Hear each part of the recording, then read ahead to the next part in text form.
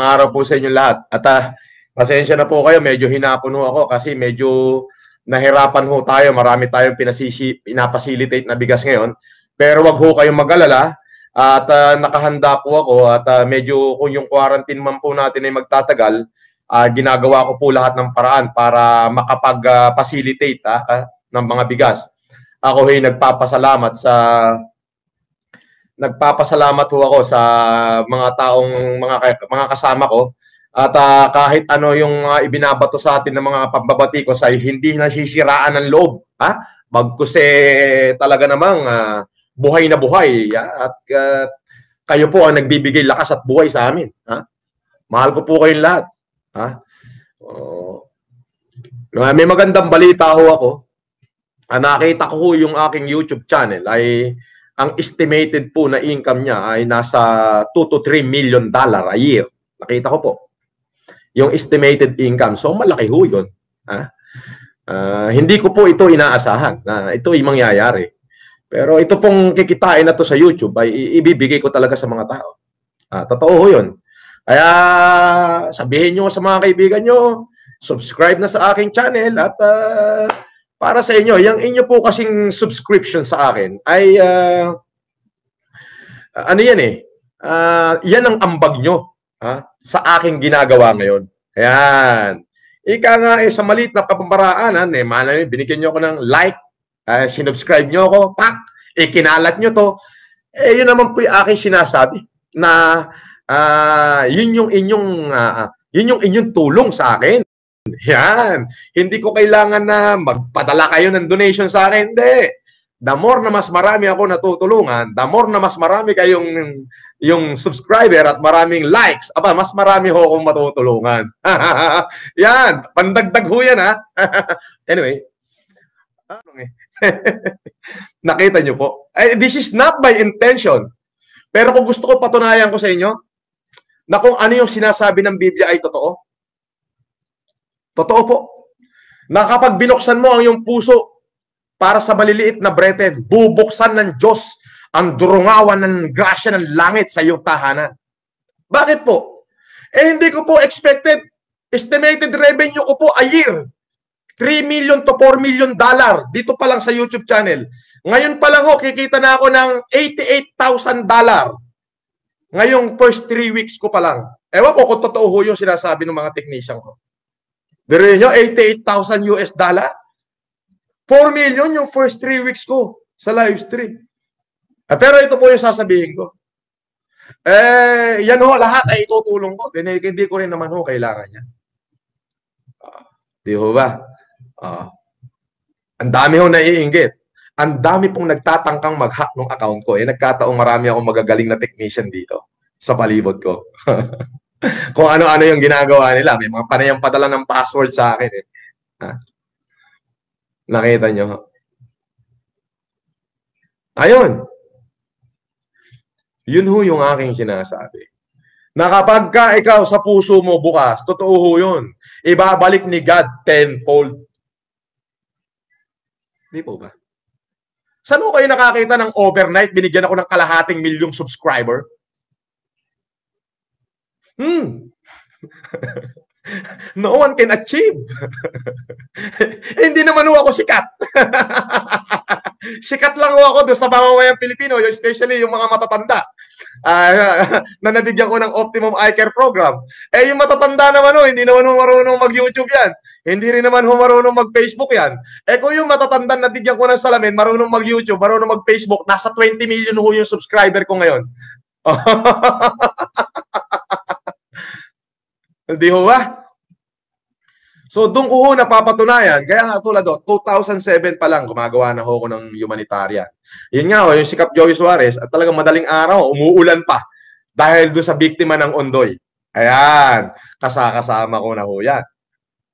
Oho. Eh ngayon, hindi ho namin media yon. Tapos every, ah, halos uh, every six month, every every quarter of the year, nag-humanitarian ako, Luzon, Visayas, Mindanao. Yan kung saan-saan lugar na ang tanging layunin ko lang ay makipagbigay tulong. Sabi ko, the moment na naisa puso mo yung pag-humanitarian, nakaka-addict. Hmm. Nakaka-addict. Kapag bukal sa puso mo yung ginagawa nyo, ay hindi nyo kailangan maghanap buhay.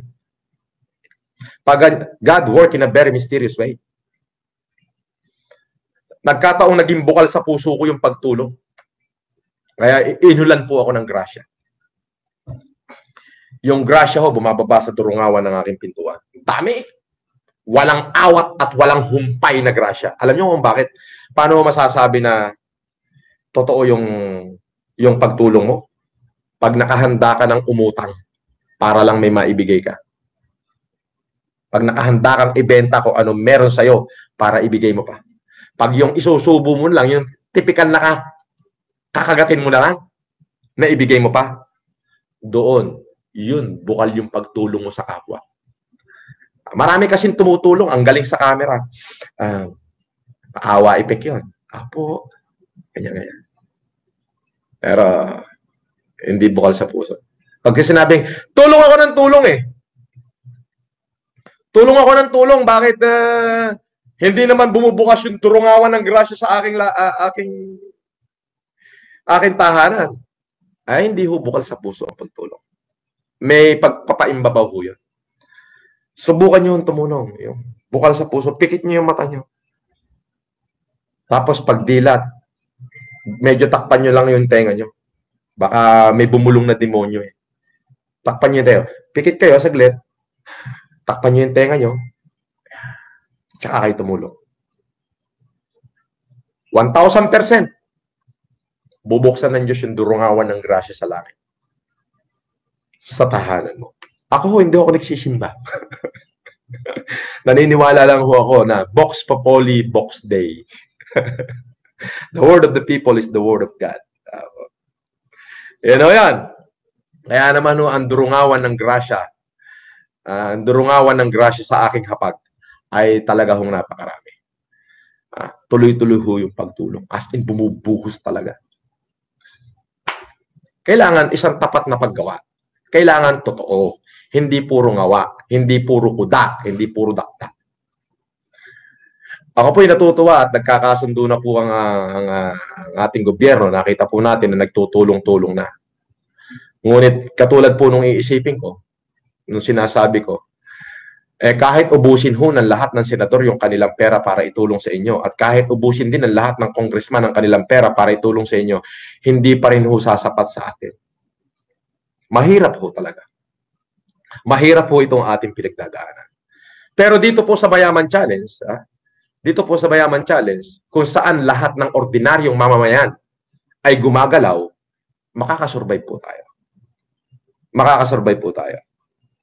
Yun po yun.